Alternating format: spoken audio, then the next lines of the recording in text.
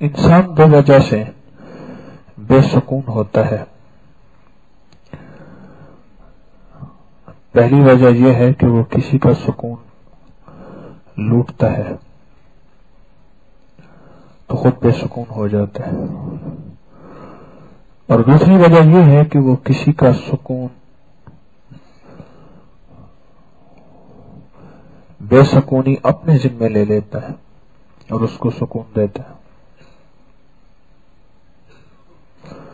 پہلی وجہ یہ ہے کہ وہ کسی کا سکون لوٹتا ہے، اپنے آپ کو پرسکون کرنے کے لیے۔ انسانیت کو بے سکون کر کے کوئی سکون نہیں پا سکتا۔ اور دوسری وجہ یہ ہے کہ وہ کسی کا کی بے سکونی، کسی کا درد، کسی کا غم، کسی کی کڑھن کسی کا سوز و ساز اپنے ذمے لے لیتا ہے۔ بس یہ دو چیزیں ہوتی ہیں جو انسان کو بے سکون کر جاتی ہیں۔ ایک لفظ ہے محتمم محتمم میں لفظ ہم ہے، ہم۔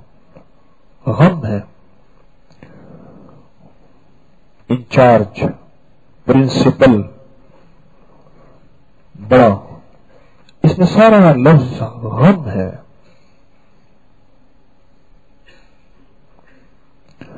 انسان دو وجہ سے بے سکون ہوتا ہے۔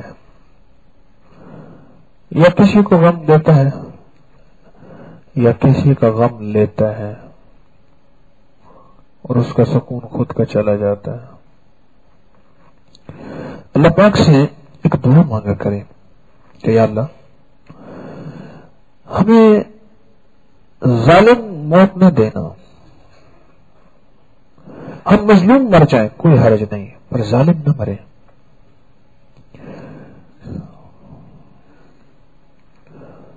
ہم مظلوم مر جائیں، پر ظالم نہ مرے۔ ہم وقت کے ساتھ ظلم کریں۔ ہم مال کے ساتھ ظلم کریں۔ ہم اللہ شاہ کی دیوی نعمتوں کے ساتھ ظلم کریں۔ ہم اللہ کی انسانیت بندوں کے ساتھ ظلم کریں۔ ظالم کی زندگی میں چین نہیں ہوتا۔ اور ظالم کی زندگی میں سکون نہیں ہوتا۔ میرے پاس بے شمار ظالم آتے ہیں۔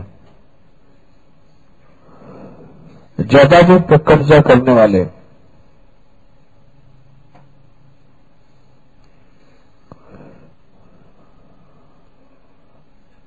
زندگیوں کے سو پہ قبضہ کرنے والے اور راہوں پہ قبضہ کرنے والے اور لوگوں کی راہوں کو تنگ کرنے والے اور لوگوں کے راستے بند کرنے والے، ان کی زندگی میں چین نہیں ہوتا۔ رب جب ناراض ہوتا ہے، سب سے پہلے جو چیز چھینتا ہے، وہ چین چھین لیتا ہے۔ جب رب راضی ہوتا ہے، سب سے پہلے جو چیز دیتا ہے، وہ چین دیتا ہے۔ پھر فخر ہوتا ہے واقع ہوتا ہے غربت ہوتی ہے تندرستی ہوتی ہے پر چین ہوتا ہے۔